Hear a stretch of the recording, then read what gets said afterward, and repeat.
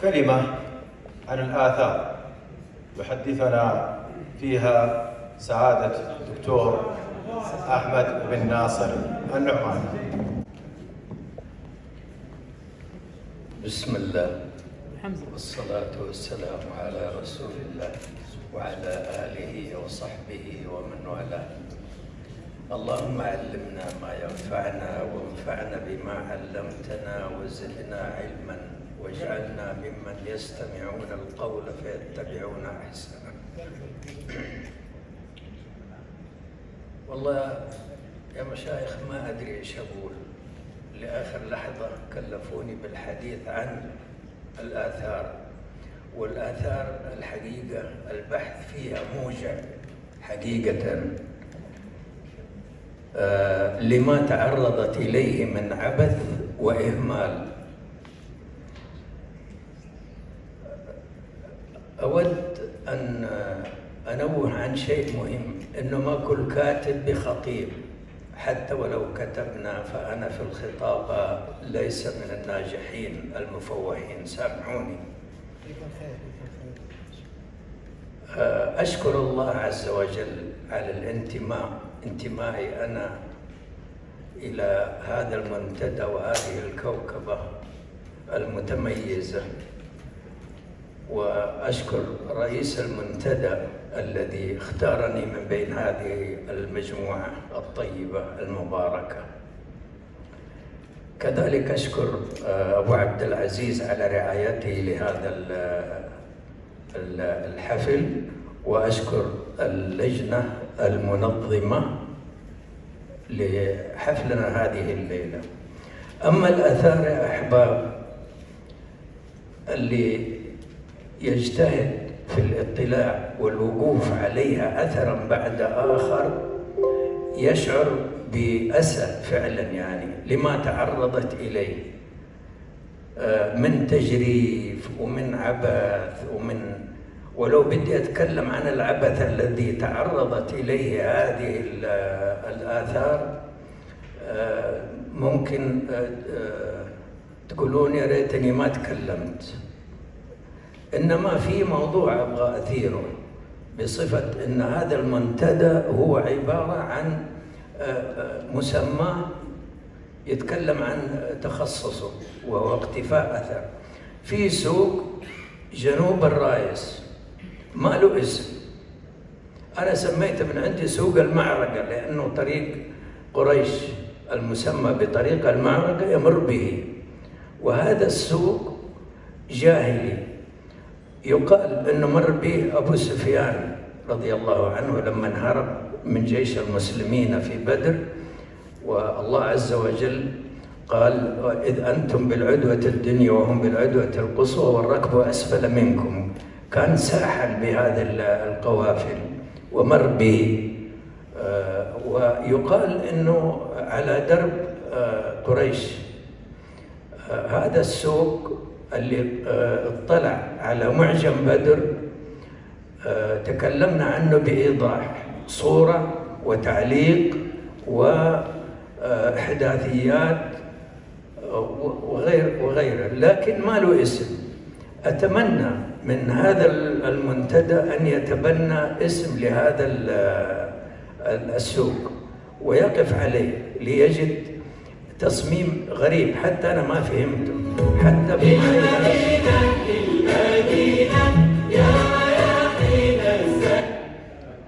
حتى الناس اللي يقفوا معي يقولون غريب في تصميمه في أماكن آه، شوارع في شوارع داخلية بين المحلات وفي مسجد وفي مقبرتين. يعني دليل إنه كان في حياة في ناس آه، يؤمون من من بعيد.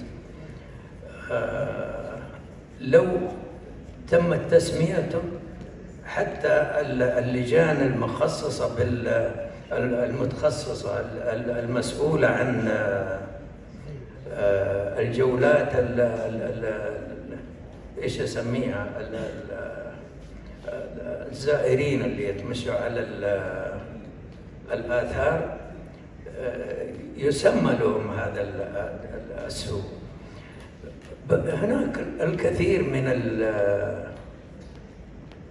من الآثار التي تعرضت للتجريف وللعبث ولا سيما الكتابة على الصخر. في عندنا آه، سوق قديم أو قرية قديمة جدا أثرية في مغانية اسمها ثمرة. هذه فتحوا وسط القرية طريق. جرفوا الكتابات جزء كبير من الكتابات. واللي سلم منهم قد يكون آه، شالوه بالشيول وعكسوا الكتابة من آه، آه، معتدلة إلى معكوسة على الأرض. حتى الآن ما حد اهتم بهذه الآثار حقيقة يعني. عندنا أيضا آثار في وادي الهدى الذي يصب في وادي الصفراء من جنوب جبال المسعار. هذه آثار كثيرة كتابات ونقوش وصور تعرضت أيضا للعبث. أمور أخرى ما أبغى يعني أتطرق لها حتى لا أوجع دماغتكم لكن سامحوني. آه، من آه، هو مسؤول أو يعرف المسؤولين يهيب بهم بالعناية بهذه الآثار يكون أجر على الله عز وجل. آه، ما يعني ما لو, لو قلنا مثلا حصرنا الآثار الموجودة في بدر لوحدها في محافظة بدر أكثر من 64 آه، معلم أو موقع بين مباني وبين كتابات وبين آه، آه،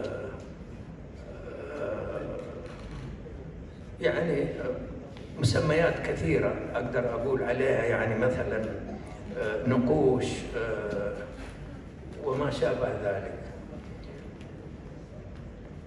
الحقيقة يعني بدي أختصر حتى لا أطول عليكم. المعاناة اللي اللي اللي, اللي أنا توصلت لها من وقوفي على هذه على هذه المعالم أو هذه الآثار موجع شوية بصراحة مؤلم أقول لكم الصراحة. لما تعرضت إليه من من عبث ومن لو لو بس خلوني أختم بموقع واحد في آه، وادي الخوصاء الذي يصب في ينبع النخل.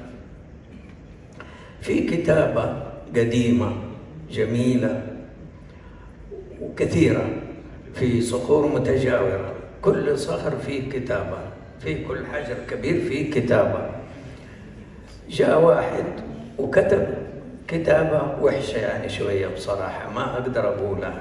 حتى ما قدرت إني أنزلها في المعجم آه اللي هو معجم آه ينبع. ما استطعت. آه، في أحد الإخوان من المنطقة من منطقه من من منطقة الخوصاء ويسكن في المدينة لكن هو من من منطقة الخوصاء شكوت له. حال هذه الكتابات والعبث عبث بالمسدس بلون لون مسدس وكتابة على كتابة. فقال لي أبغى أروح أشوف معاك ممكن توديني؟ قلت أوديك. أنا يعني الحقيقة تفاءلت واخذته معايا. إيش ناقصنا؟ مثلا كيروسين ومناشر خشنه وكذا. أتوقعت إنها تشيل البوية هذه. رحنا عملنا جهدنا كنا حوالي خمسة أشخاص. عملنا جهد مضني بأننا نرش الغاز ونبلل الخيش معانا. ما طلع. الكتابة اللي, اللي بالمسدس هذه ما طلعت. قال لي سيبها أنا أخدمك فيها. وجاء المدينة لإحدى شركات النظافة. قال لهم عندي كذا كذا كذا أبغى زيله إيش تنصحوني به من مادة؟ قالوا له مادة كذا. راح اشتراها وأخذ معها عمال. حاول المستحيل ويصور ويرسل لي في جده أنا حاول المستحيل إنه هو يشيلها ما شالها ذكرت هذا الكلام في محاضرة لي في اللجنة الثقافية في خليص. دكتور مصري في الجامعة فرع جامعة جدة في خليص قال لي هذه مادة استخدمت في مصر وأعطاني النشرة حقتها وتركيبها وكله.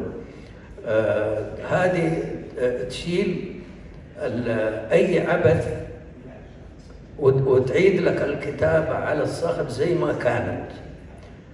أخذتها وأرسلتها للأخ ما أدري إيش عمل. إنما البحث عندي بحث المادة تحضير المادة اللي, اللي يشيل العبث.